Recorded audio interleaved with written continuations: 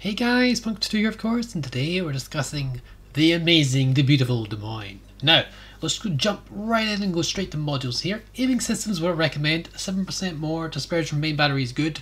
The alternative options are a gun mod, which if you hate carriers, you can run it against, but I do recommend aiming systems, you know. You can buff the gun. Main battery reload mod, battery mod 2 for the turret traverse can help, but 5% additional reload is not nice. I think the turrets turn fine, it's because of the rate of fire of the guns. In terms of other modules here, I wouldn't recommend steering a Go Propulsion mod. It turns relatively fine in my opinion.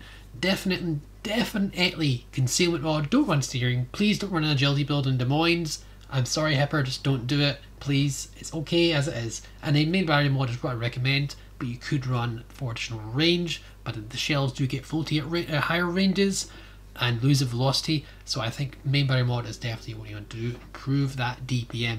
With our total build, 4.6 is our reload. The base reload is 5.5. We get a good sonar. We get the Minotaur radar 9.9 for 40 seconds. You can also pick up a spotter, or you can put the catapult head for Arthas as well. Which, uh, if you have him as well, that'll be pretty darn juicy. Buffing your damage to probably insane levels of really like Odin in terms of like shell things. The heal is slightly worse than Baltimore. I don't even mean like by like five points per second difference, you know. it's got a little bit more health. Obviously these MK16 203s, pretty decent AA as well. These are bit uh, bits uh, slightly actually faster than the Baltimore, but slightly less maneuverable as well. Armor scheme is coated in 27 with a 27mm bow, which means you have the ability to bounce. Uh, 15 inch guns and above, which for a legendary tier cruiser is, I mean, it's good. Actually, I really like it. I think it's quite balanced. It needs that. Superstructure, there's a fair amount that can be farmed, so just be aware of that. You have this, but the main difference between this and the Baltimore it has a 30mm deck, which can bounce 16 inch guns and uh, not and, and below, of course. It can it can't bounce the Georgia and the Yamato, but from far, from range, you can bounce the big caliber guns as well. The biggest issue though with this armor scheme in Des Moines is its citadel, which is indeed raised and longer. It's not the typical American Baltimore Wichita citadel, which is short and very thin, as well as low to the waterline, even under the waterline. This thing is raised and this thing is big. And the citadel itself is not very well armored either. So you have a decent tankier top deck, but your bottom deck, side on, you're actually more vulnerable than the Baltimore is. You additionally have the guns, they can be broken they can get broken relatively easily, but they are somewhat armoured as well, so just be aware of that. If you're comparing to the Baltimore here, you see the difference here. Part of it is out of the waterline, a lot of it's underneath the waterline. The difference is extreme. So in terms of commanders here, I run Azur Lane Baltimore. If you have her, hey, great. If you don't, hey, whatever. Uh, there's alternative options. You'll be on range, igniter. I don't like absolute ammunition because I feel the shells are beautiful the way they are. So I recommend punch through, but if you can't stand over pens, absolute ammunition will do the job. Fixated. People are tempted to run reforestation. I recommend against it. Go for fully patched. You definitely need the additional sonar, additional radar, additional heal, sustainability, more viability. Uh, also, you've got Gunichi Mikawa for additional stealth, probably a must-have if you have him, and Francesco Mimbelli for the reload, or if you have Swirsky, he's a good option as well for reducing your stealth. If you have him at higher levels up, there's a high there's a potential for a stealth radar. In my first game, I had Swirsky on it, but yeah. If you don't have Azur Lane Baltimore, you can run the same build on Norman Scott. Inspiration is just as good and increased accuracy. You just run the same thing as I had before with the same inspirations. You've got plenty of options. You could if you don't want to run uh, Mimbelli for the reload, you've got plenty of options. You could run uh, even Sansonetti for reduced damage to cruisers, or you increase your health, or you can increase the speed, or whatever you want to do. You know, you have plenty of options there. There's free Commander 4 as well. I like Baltimore because I have a spec for the heavy cruisers, and that's why I use it for that as such. So that's the build I have for. That's the stacks, guys. Hope you enjoyed and we'll pop yourselves into the game. So, Des Moines. Uh, this our division with Listo and his Montana, and we're just messing around and see what's going on. Now, as I said, Des Moines plays a lot like Baltimore and New Orleans, and it's kind of like a stationary hold your ground playstyle, which is not like a lot of other cruisers. You gotta find a good position and you gotta defend that position, and you have that ability to do it because you basically get a position of interest. So for me here, I'm covering the Charlie cap, which we already have, of course. I'm going to try my best to push in as much as possible without putting myself at risk. Now, once you do that, you've got yourself an opportunity to shoot at targets that are coming towards you, shoot at targets trying to capture the objectives, shooting at targets that are trying to win the game. That's your goal. Your your goal as a Baltimore slash Des Moines, whatever the play style here, as I mentioned before in Des Moines, in Baltimore, you want to be holding a position and you want to be that thing that oh I can't go that way because there's a Des Moines there. And that's basically how I'd recommend you play this boat. It is really good at that ice because the DPM this thing can provide, if anything comes in to your zone of control, it will be severely unhappy it was ever there. You've got decent AA, nothing to write home about, I must highlight. You know, playing the boat quite extensively. It's not amazing in terms of AA. It will get the job done, give it time, but you need to give it time. So carriers can absolutely still kill you, and uh, they're pretty much the biggest threat for you bar the 16 inch gun battleships and above, especially the Yamatos. Yamatos are very scary for Des Moines. You can 100% get death struck. Uh, it's happened to me once so far uh, by a Yamato that was firing HE the whole game. I was very surprised. I'm like, oh, he's firing HE. I kind of ignored him, and then he switched AP the right time. so, yeah, you need to be careful in Des Moines. Uh, it is not like Alaska. It's not easily, like, can't survive broadside for long.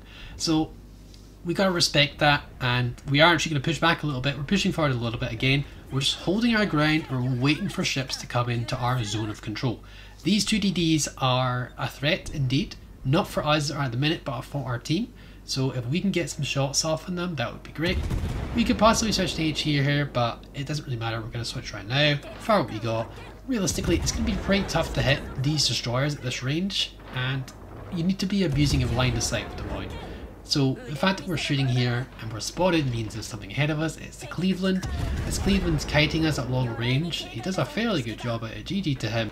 He did play quite smart, realising that uh, the Des Moines could absolutely wreck his day if he chose to stand and fight, and the better way is just to run away and use his DPM. Of course, his he only has 152s, I've got 203s, and just basically firing as much crap at the wall, eventually something will stick, and he does get a fire on us and that is not great ideal. We gotta be careful about this Iowa here.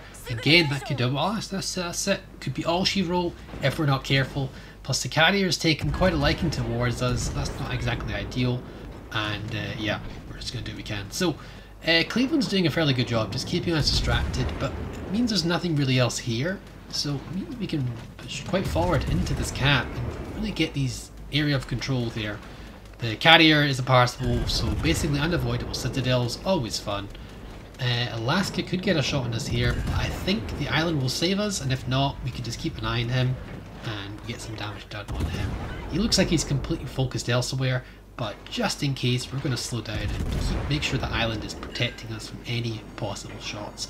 As you see, the Moines shell arcs are insanely high, which means you've got great shell arcs shooting over islands, but not only that, they're very quick as well. And these 203s are magical 203s that can punch through just about anything. I've Citadel the GK with these 203 guns at pretty considerable range, and getting in Alaska alone is pretty tough. This is Cleveland, he's doing some fair work done us, he got a double fire on us. Um, I didn't want the damage control just in case he got something else on us, but uh, hey, we're, we're pretty safe here and we can get some work done in Cleveland, but it looks like he's some sort of agility build. The thing about this is the carrier's still in front of us. Ugh. we can't really avoid that. It's just 10k. We can't really avoid take. We just have to take basically. The thing about doing this kiting playstyle here it works fine. You can do that. If that's the only thing you can do, it doesn't really do anything for your game here. Like that Cleveland, I'm not being mean to him or anything. He did a good job in what he did, but um, he could have been doing so much more to win the game because you can it's all great and Nandy doing that but that decap has been taken you know he's not defending the objective he's just stopping one ship you're not doing anything by that because end of the day I'm I'm in a position of control here if they if they want to capture Charlie if they want to capture Delta they got to go through me first and that's really the point I'm trying to illustrate that you want to be in Des Moines this is how you get consistently good games in this bowl. You want to get yourself in a good position where the enemy has to come towards you and they've got no choice but to push in. And this Cleveland basically has no choice but to push in. He can kite for all, all he wants, but it's not going to make a difference if they lose the game. Now, we're not as concerned about the right hand side because it's not what we are positioned for. And the Alaska could absolutely do some damage here. We're keeping an eye on him here. We're just a little bit worried, and we'll do what we can here. We're keeping the AP because um, Alaska's uh, Cleveland's being quite squirrely, and if we keep the AP on, we get a one broadside hit. That can be some serious damage to him. And he, there we go. He does a broadside hit. We took the the shot from Alaska, or I'm not sure. It might just, just still be Cleveland there at this point. But we're gonna push in. We've got him here. He's dead to rights, and then Mr. Killsteal comes in and he steals the kill and really annoying because he was he was giving us quite some bother so we need to see what we can do Cleveland's still shooting us and that's fine that's some residual shots now we've got a great position we're not spotted because island cover and we can just absolutely tear apart anything that comes into the B cap which means the Minotaur the Conqueror and I think there's another Conqueror I'm not even sure at this point they are just getting pound town and as you can see islands don't mean a thing to the to the Des Moines, except uh, you know that's 14 kilometers and it arrives in five seconds or three seconds. The the shell uh, the shell velocity is actually insane. Unlike any other American boat, you don't actually have to give much lead at all. So if you're used to playing likes of Baltimore, you need to reduce the lead you give because these shell arcs are very very quick. so it doesn't lose too much speed over the distance as well. 10 seconds for 14 and a half kilometers is quick. And as you can see, we're just absolutely ruining the Conqueror. Guys, if you don't shoot AP in this boat primarily, you're playing it wrong. It doesn't matter what the Conqueror was doing. I think it was on one stream the Conqueror just was basically bow tanking us, thinking he could avoid the AP damage. We just, just absolutely ripping his superstructure and getting consistent 8k, 5k, 7k, 9k, 10k. It just adds up and it brutalizes them here. We've got 10 over pens, 6 pens. We've barely got, we've got, it's just the amount of over pens we're getting is insane. And it's this, we need to aim even lower. This is the problem, we're not aiming high enough. We're aiming, we're not aiming, uh, we're not aiming uh, low enough. We need to aim actually lower to get the results we want here. We just absolutely murder that uh, Conqueror. He's about to get torpedoed anyway, but still. Now we're just going to kick it in reverse so we get good shots on Alaska. We're just working on him. And as you can see, we had like 30k or something stupid like 40k and now we're up to 128. You see, when you get that position in Des Moines or in Baltimore, same idea, the damage just adds up and you can see the damage you can push out. The damage you can dump out is insane. The DPM of these 203s is nothing to laugh at. It's actually insane. Brutalizing this Alaska. He goes down to the Peters again. That uh, Those DDs are doing some mad work, I tell you that. Now, it's just the Iowa, the Minotaur, Parseval, and the Destroyer left. Now, I'm, i can feel I can get some good shots on Iowa without him noticing us. And uh, this is near the end of the game here, as you can see. Pretty darn clean up of the game here. And we're just going to get what we can on the shots in Iowa. Again, because he's behind an island, this is, these are the positions you want to get into. This is the key, key position you want to get into with the Des Moines. And yeah, you can see this, this it's just, we're just getting five pens there, three over pens. I mean, we're getting barely any shatters. We see the Minotaur, see what we can do here. Carrier's coming in for more. Again, the the DP, the AA is not amazing. It does work, but it, you got to give it the time to perform. And unfortunately, these are Parseval torps, basically unavoidable torps, and that's just how it goes. But you know, he's been focusing on this whole game, and he's been losing a lot more planes than he realizes he's losing. And uh, yeah, it's not gonna be too much. Uh, enemy, any conqueror, uh, Cabros picks up clear sky. That's interesting. Uh, Minotaur, we're just gonna keep shooting AP.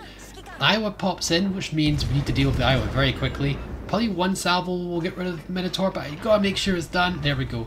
Now we can start focusing our attention towards Iowa. He's still angled, but we're just gonna aim up on his upper deck and we'll still get comfortably pens here. As you can see, we're just gonna keep it up here. We gotta keep our angle here. The best thing we can do at this point is not give him a flat broadside or a flat bow one. We want to keep an angle to try and minimize the damage. And there we go. We minimize the damage. I think it's just one citadel here. And now we have the Parseval to go for bit of misplay here. Uh, I wanted to go in reverse here. I did duke the, the final salvo, that the, the Parseval salvo that could have killed me, so that's always good. And uh, that's good here, but I really should have gone, stayed in full gear, full gear here to try and pursue that carrier to get even more damage in. We're going to try to get some blind fires in here and see what we can do. We still got another Citadel and per guy. Well, it's part of we have to feel bad for him. And yeah, basically the whole CD side, that, that consistent cap income has really gave us a commanding position. Even if we were down on ships, the game would have been over pretty soon because of the capture progress of the Charlie Delta camp. Us spawning on its side, pushing it, and holding at the right time, controlling our area, and making sure that any ship that gets near that area is deleted or is decentralized to push forward. You see the power at a good position of the Des Moines. Good, heavy cruiser play, getting rid of the big targets and just catching people's broadsides for the immense DPM this thing can provide. Doesn't even matter if you're broadside because you have HE and you have the AP that is nectar of the gods, this AP.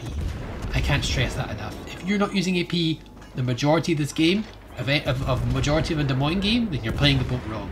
Even if the target is angled towards you, you can aim up and hit that superstructure at the upper deck. You get some meaty, meaty pens. Sometimes, yes, absolutely switch to HE, but it's a rare case. Obviously, destroyers you want to switch to HE as well. And you see, the A of the Des Moines does actually give us a clear sky.